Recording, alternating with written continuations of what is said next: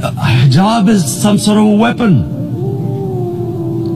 A woman can take off her clothes in countries, but she can't put on more clothes. How is this happening? Because of Islamophobia. And where, how did this Islamophobia start? After 9-11. And why did it start? Because certain Western leaders equated terrorism with Islam. Islamic terrorism. Radical Islam. What is radical Islam? There is only one Islam.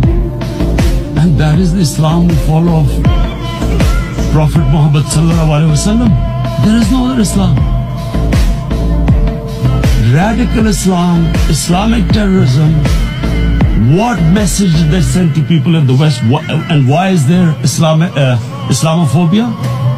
How is a person in New York, in the Midwest, in the US, in European capital, how is he going to distinguish between who is a moderate Muslim and who is a radical Muslim? Terrorism has nothing to do with any religion. This Islamic terrorism, Islamic radicalism, and sadly used by leaders. This has been the main reason for this Islamophobia. And it has caused pain among Muslims. We in Muslim countries watch this Islamophobia traveling abroad. And it's getting worse. And may I just say, Mr. President, that in European countries, it is marginalizing Muslim communities. And we all know that marginalization leads to radicalization.